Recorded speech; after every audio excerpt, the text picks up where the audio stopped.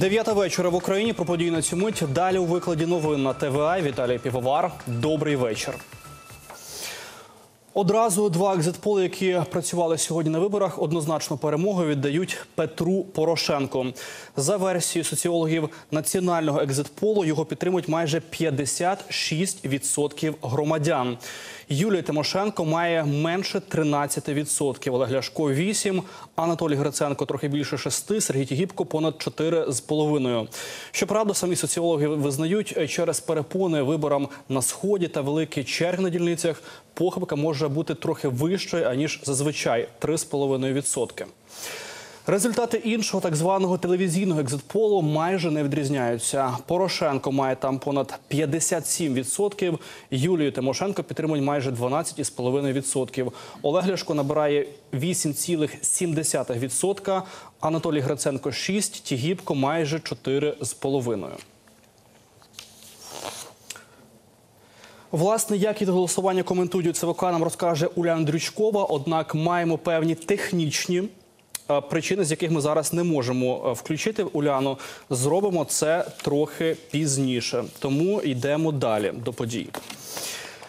Комісіям на сході країни ЦВК дає право складати протоколи на власних бланках. Це стосується тих дільниць, які захопили терористи, а документацію там викрали. Про це повідомила заступник голови ЦВК Жанна Усенко-Чорна. Вона зауважила далі її цитата під час роботи виборчих комісій, створених у Донецькій та Луганській областях, стало очевидно, що бойовики викрадали, пошкодили, знищили бланки протоколів дільничних виборчих комісій. Були знищені та і печатки виборчих комісій. Кінець цитати. Усенко Чорна наголошує, що це рішення є винятком і ЦВК на нього пішло, враховуючи нестандартну ситуацію у східних регіонах. Ну і про сам хід голосування на сході розкаже далі Артем Глебов. Артеме, добрий вечір. Скажи, де таки не змогли проголосувати виборці? Добрий вечір, Віталію. У низці міст Донеччини і Луганщини тамтешні мешканці так і не змогли поставити галочку в бюлетені, а все через терористів. Ті цілий день то блокували роботу дільниць, то взагалі викрадали бюлетені і печатки ОВК. Лише під завісу виборчого дня дещо покращилася ситуація з голосуванням на Донеччині. Багато комісій почали отримувати списки та бюлетені. Про це звітували у ЦВК. Зокрема, не мали змоги проголосувати мешканці Докучаївська та Вугледара. Важка ситуація була і у самому Донецьку. Вранці у місті відкрилася лише одна виборча дільниця. Проте терористи посприяли тому, аби закрилася і вона. Загалом в області працювали 9 окружних комісій з 22. У прес-службі Донецької облдержадміністрації заявили, в регіоні вибори не відбулися у шести районах та 23 містах. А все через складну ситуацію на Донеччині. Я живу в стране, и я не могу проголосовать э, за президента. Это в корне неправильно. У каждого должна быть своя воля. Хочу – голосую, не хочу – не голосую. Но хочу за того, не хочу. Я, может, хотела пойти и вычеркнуть всех. Такое тоже может быть. У меня очень многие так хотели сделать, потому что нет президента. Но не дать проголосовать вообще – это вообще в корне неправильно. Это уже нарушение всех законодательств. Одразу чотири виборчі дільниці захопили терористи у селищі Новоайдар на Луганщині. Вони викрали бюлетені, намагалися зникнути. Очевидець ці події Сергій Іванов у Фейсбуці написав далі цитата: військові, які дислокуються у Новоайдарі, кинулися їх переслідувати. Прихильники так званої ЛНР почали відстрілюватися, і у результаті хаотичної стрільби розстріляли мирних громадян. Стрілянину на Луганщині підтвердили і в МВС. Заступник міністра відомства Сергій Яровий повідомив, під час затримання терористів одна людина загинула, ще одна поранена. На тепер на місці події працює слідчо-оперативна група. Ну і загалом на Луганщині сьогодні працювали лише два округи із 12. Жодна дільниця так і не відкрилася в самому обласному центрі. Голосувала тільки північ Луганщини, яку контролюють українські силовики. Десять окружкомів в області захоплені терористами. Вони викрали списки, печатки, пошкодили оргтехніку. Жодна із 50 дільниць не відкрилася у Северодонецьку в Луганській області. Там не було бюлетенів. Не проводилося голосування в Антрациті і Лисичанську, хоча в цих містах мали обирати не лише президента, але й мерів. Да, хотела проголосовать, но, увы, комиссии нет. Все запуганы, так ответила дежурная. Вот. Никого нет. Очень печально, очень неприятно это, потому что я как гражданин Украины я очень хотела как бы выразить вот свое отношение ко всему тому, что происходит. Я хотела проголосовать за единого президента, за единую Украину. И вижу, что не работают у нас избирательные комиссии, ничего нету. Пришла, все закрыто в школе, ничего не, это, не работает. Вот. И так и иду вот назад. Хотела проголосовать за президента, чтобы все было нормально в Украине. Уже надоев этот безлад, страшно. Может, новый президент наведе порядок. Жодна дільниця не відкрилася сьогодні у Слов'янську. Багато мешканців міста просто боялися виходити на вулицю. А прихильники сепаратистів казали, вибори президента України не мають для них жодного значення. Нагадаю, 11 травня терористи Донецька і Луганської областей під дулами автоматів провели власний незаконний референдум щодо незалежності регіонів. Після чого звернулися до Росії з проханням приєднатися до неї. голосовали на всех выборах. Пошел бы, ну, по обстоятельствам зависит. Где б я в этот момент был, то ли в огородах, ну, люди все это самое, то ли на работе. Честно, я не иду на выборы, потому что у меня нет желания идти кого-то выбирать. Харків на площі Свободи пройшов мітинг проти виборів президента. Зібралося близько 300 проросійських активістів. Зі сцени вкотре виголосили про незаконність виборів. Під час мітингу сталася сутичка між міліцією та активістами. Правоохоронці затримали чоловіка, у якого в рюкзаку виявили чотири димові шашки. Проросійські мітингувальники спробували відбити затриманого і запевняли, він наш, відпустіть його. Також на мітингу проголосували про збереження статусу Харківської Народної Республіки, проголошеної близько місяця тому на цій же площі.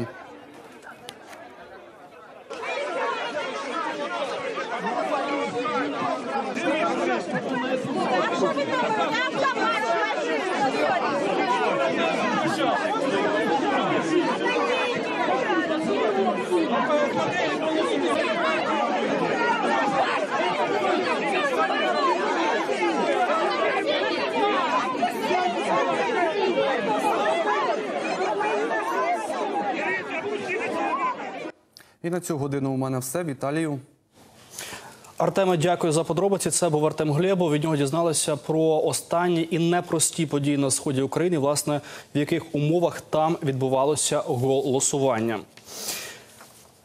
Всього у світі для українців працювали 114 виборчих дільниць. Першими змогли проголосувати в Австралії. Тамтешні дільниці відкрилися у першій ночі за київським часом. У Канбері українці приїхали на дільницю автомайдану.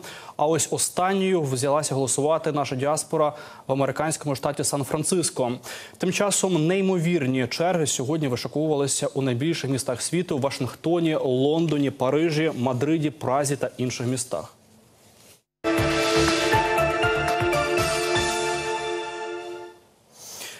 Тим часом у Європі сьогодні останній день голосування і виборів до Європарламенту. У медіа цей день вже назвали супернеділею, адже сьогодні на виборчі дільниці приходили громадяни 21 із 28 країн-членів ЄС. А це майже 400 мільйонів виборців. Серед країн, які нині голосували, Німеччина, Франція, Польща та Іспанія. Нагадаю, що вибори до Європарламенту тривали у ЄС із четверга. Європейці обирали 751 представника у законодавчий орган. Попереднє опитування свідчать близько чверті місць у Європарламенті відійдуть до євроскептиків. Утім, більшість позицій до 70% усе ж лиши- лишиться у традиційних європейських лідерів лівоцентристів, правоцентристів, лібералів та зелених. Перші офіційні дані виборів будуть відомі уже сьогодні, близько півночі за київським часом.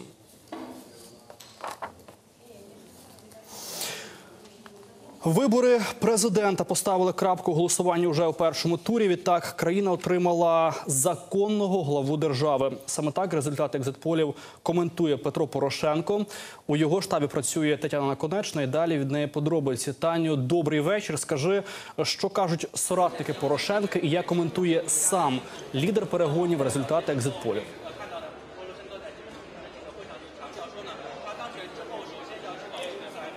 Теж маємо певні технічні труднощі. Ось і з цим включенням ми зробимо це дещо пізніше.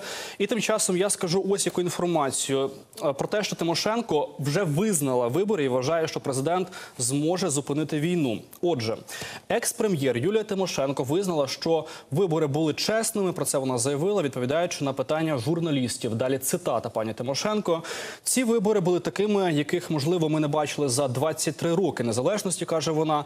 На виборах, які відбулися в умовах військової агресії, голосувати було дуже складно. Тому те, що ці вибори відбулися, це велика перемога України та українського народу. Зазначила вона. Тимошенко подякувала усім громадянам, які взяли участь у голосуванні, особливо мешканцям сходу України. А при цьому вона зазначила, що президент, якого українці оберуть на цих виборах, має всі можливості, всі важелі впливу і усі інструменти влади, щоб невідкладно зупинити війну, задовольнити всі очікування українців. Водночас Тимошенко не відповіла на питання, чи вітатиме з перемогою свого опонента Петра Порошенка до офіційного оголошення результатів. Ось йдемо далі.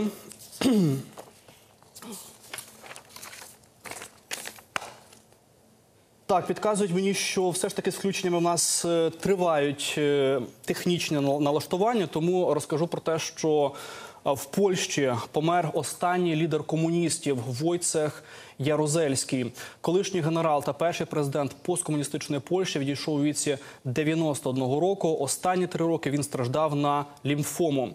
Ставлення до Ярузельського у Польщі неоднозначне. Багато поляків вважають його диктатором. Генерал відомий тим, що на піку протестних рухів на чолі з активістами профсоюзу Солідарність запровадив в Україні військовий стан. Водночас сам Ярузельський стверджував, що тоді у 81-му врятував Польщу від радянського вторгнення, такого яке росіяни здійснили у Чех- Чехословаччині. У Польщі неодноразово відкривалися справи і здійснювалися спроби притягнути Ярузельського до відповідальності за його дії біля керма держави. Втім, за віком та станом здоров'я генералу вдалося уникнути переслідування.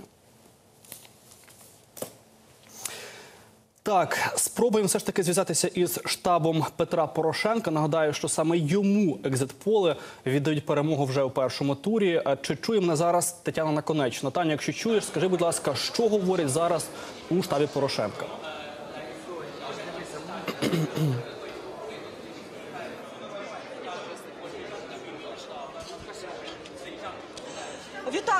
Вітаю. Ну в штабі Порошенка панує надзвичайно переможний настрій. Тут вже відвіступали е, Петро Порошенко та Віталій Кличко.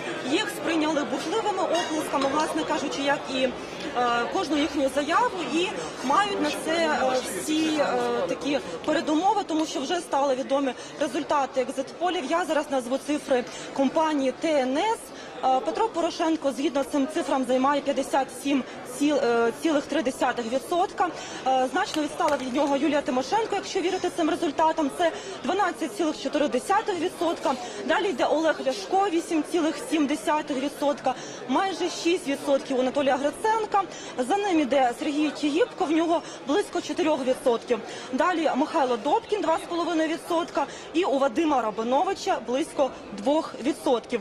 Ну, власне, Петро Порошенко вже сказав, що е, швидше за все е, вибори президента відбулися один тур і вже не приховував свого переможного настрою і озвучив плани на майбутнє, що він зробить, коли стане президентом. Найперше він поїде не до Москви і не до Брюсселю, а на Донбас. Це перше, друге в нього на порядку денному буде євроінтеграція, угода про асоціацію з ЄС і боротьба з корупцією, власне, і з кумівством у політиці. Також Петро Порошенко подякував кримчанам, які, попри загрозу е, життю і здоров'ю, прийшли на вибори. Ті, хто зміг це зробити, і також е, екзитполи проводили ще паралельні дослідження соціологічні про е, те, як українці підтримують європейську інтеграцію та унітарність України. Я прошу пряму мову. Все я хотів би від щирого серця подякувати. Подякувати українському народу, який е, взяв рекордну участь е, в голосуванні. Кількість людей, які сьогодні відвідували виборчі дільниці, е, зашкалювала. Україна ніколи не мала такої явки. Причому як всередині країни, так і за її межами.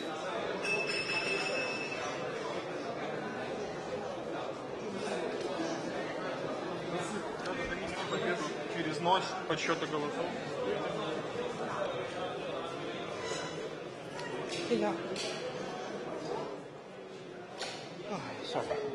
Я в стоячі? Віза включення це була Тетяна Наконечна. Вона працює у штабі Петра Порошенка. Нагадаю, що саме йому екзит-поли е, по суті дали впевнену перемогу вже у першому турі. Там більше більше 56% буквально в кожному із цих екзит-полів. І вам ще мабуть цікаво про дані виборів мера Києва. Наразі е, з інформації, яка є доступною, поки що ось є екзит-пол Савік Шустер студії. За ним, значить, е, перемагає на цих виборах мера Києва Віталій Кличко. У нього е, 57,40%. Далі на другому місці Оробець. В неї 10,3%. На третьому місці Бондаренко. В нього всього лише 8,2%. Ну і далі пішли кандидати, які набрали менше 7. Це Омельченко, в нього 6, а в Катеринчука 5,2%. Ну і по суті, ось такі результати. Нагадую, що це поки що екзит-поли, і це екзит-пол е, Савік Шустер е, студії. На виборах в Одесі перемагає Гурвіц. Це, теж результати екзит-полу е, тієї ж тієї ж компанії. Далі мені підказують, що маємо зв'язок також із штабом Юлії Тимошенко. Там працює е, мій колега Сергій Ярема. Сергію, добрий вечір. Скажи, будь ласка, як коментує е, хід голосування Юлія Тимошенко, що кажуть її соратники та опоненти?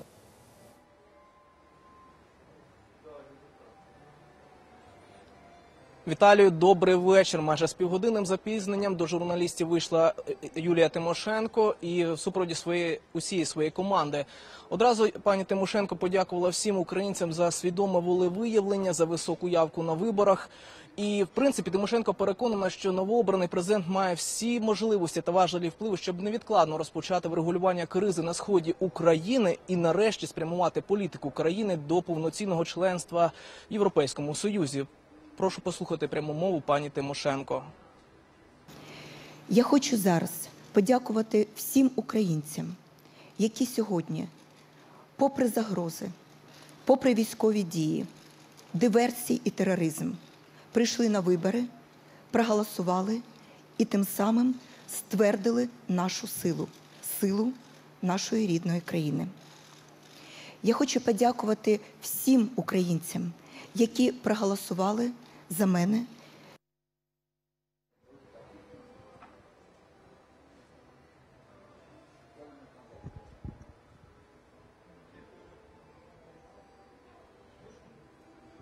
Все, мабуть, проходьте. Дякую, Сергію. Це був Сергій Ремо. Він працював у штабі Юлії Тимошенко. Власне, працює надалі. Нагадую, що головний меседж звіти те, що Тимошенко власне визнає вибори і вважає, що новий президент зможе зупинити війну. Ось е, такі новини звідти. І теж нарешті маємо е, зв'язок із ЦВК. Там працює моя колега Уляна Дрючкова. Уляна, добрий вечір. Скажи, які останні дані в ЦВК по явці е, ти маєш, і на які порушення е, наголошує Центральна виборча комісія? Віталію, привіт. Власне, маємо лише поки що появці інформацію. Вона почала обновлятися лише після восьмої години. Тобто від третьої до восьмої години ми фактично не мали інформації про те, скільки громадян України все ж таки прийшли і віддали свій голос за нового президента. Отже, карта України по е, активності виборців оновлюється щохвилини. Скажу те, що є на даний момент. Е, По е, в Запорізькій області проголосувати прийшло більше 53%, Закарпатська більше 55%. Найбільша явка вже традиційно на Західній Україні, Івано-Франківська більше 71%, Тернопільська 76%, е, на півдні 49, майже близько 49%, Харківська область більше 46%, Полтавська 63%, трохи більше 63%, Кіровоградська 62 з хвостиком, Дніпропетровська 56 і Київська близько 70%. Е, Поки що рекордсменом, якщо не помиляюся, є Львівська Луганська область. Там е, виявити свою волю, проголосувати за гаранта прийшло е, близько 78%. Але Віталію відразу уточню, що ці дані не остаточні, вони постійно оновлюються. Загалом по Україні е, станом те, що я бачила останнє на табло, явка по всій країні більше 60, близько 60%. Але у ЦВК наголошує, що ця цифра буде постійно змінюватися, може зрости навіть до 70-80%. Поки що спостерігаємо за тим, як буде оновлятися карта і повідомляти вам новини по активності виборців і взагалі новини з ЦВК. Віталію. Уляно, дякую за подробиці. Це була Уляна Дрючко. Вона стежить за оновленням даних у ЦВК. Власне, поки що в мене все. Більше інформації буде вже о 22-й від Аліни Мазур. Я прощаюся до завтра. Дякую, що дивилися, і дякую тим, хто сьогодні проголосував. Приємного вечора вам з ТВА.